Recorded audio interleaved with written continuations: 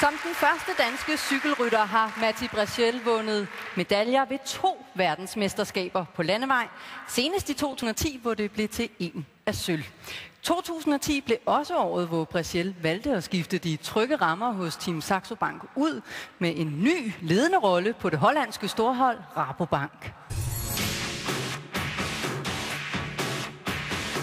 Jeg følte bare, at, at det var tid til at, at søge mod nye udfordringer. Ligesom udlands. Øh, lære nogle nye mennesker at kende og, og få lidt hår på brystet. Og... Det danske vintervejr har allerede fået skylden for alt, lige fra aflyste togafgange til glatte fortorv. Men selvom andedammen er frosset til, og landskabet i det hele taget ikke ligefrem indbyder til lange træningsture på cyklen, så er det altså ikke værd skyld, at Matti Bressel fremover søger udfordringer hos hollandske Rabobank. De tilbød mig også ligesom øh, lederrollen øh, og, og kaptajnrollen på under klassikeren. Den 6. og foreløbig sidste sæson hos Ries Cycling var i bedste fald omskiftelig. Fra fremragende resultater i semiklassikeren Dvarstor Flandern, debut i Tour de France. De første fire kilometer gik forholdsvis hurtigt, der blev man nærmest øh, båret frem. Og nu hvor han har vendet sig til tanken, den imponerende sølvmedalje EM i Australien i oktober. Ja, jeg er super stolt af, af min anden plads. Det er stadigvæk ikke en sejr, og det var ligesom det, jeg havde sat næsen op efter. Til den enorme skuffelse, det var at se alle sine egne forberedelser til brostensklassikeren Flandern rundt blive spoleret i servicevognen.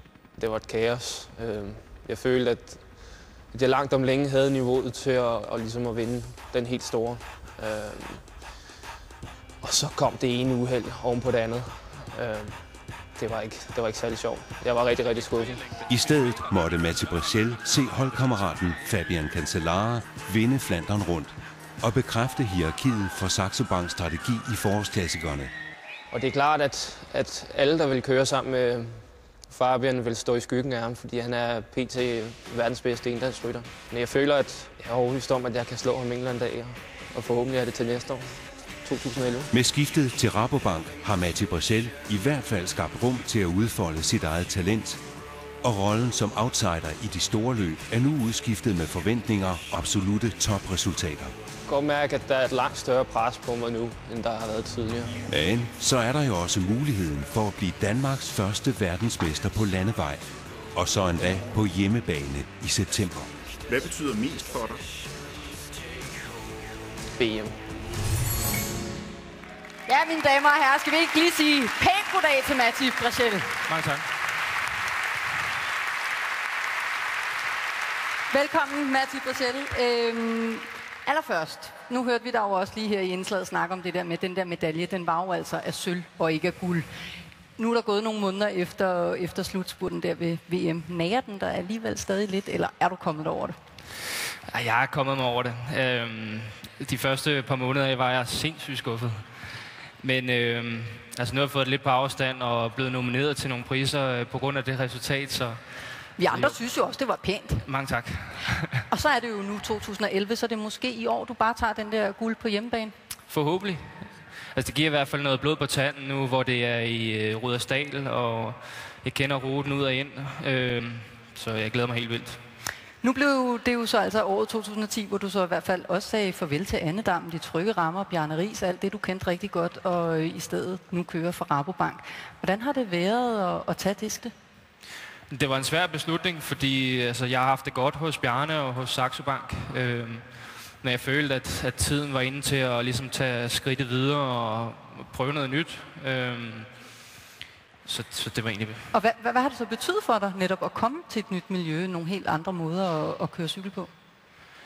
Ja, men altså, det giver noget blod på tanden at få en øh, ny cykeltrøje på, og, og det, øh, det er et nyt pres, kan man sige, og det er nogle nye mennesker, ikke? Og, og jeg er også blevet hentet til holdet på grund af de her forårsklassikere, så det, det ekstra stort pres. Når man sådan er under det her lidt større pres, som du er jo kommet under nu, opdager man så også andre nye sider af sig selv og sit talent? Nej, der har altid været pres på, øh, specielt her de sidste par år, hvor man er blevet bedre og bedre, og specielt under Tour de France, hvor der er et kæmpe pres på en. Øhm, så lærer man ligesom at håndtere det, og, og jeg synes egentlig, at, at jeg præsterer bedre med det. Udover at du lige napper guldet nu her på, til VM på hjemmebane, det er vi jo blevet enige om. Hvordan ser den optimale drejebog så ud for dig her i 2011? Jamen altså, lige nu er jeg skadet med, med en knæskade, øh, men forhåbentlig bliver jeg klar til at, at nappe en af de øh, helt store forårsklassikere. En etappesejr i turen, øh, VM. Det var tre gode. Det synes jeg, det kræver da en kæmpe hånd.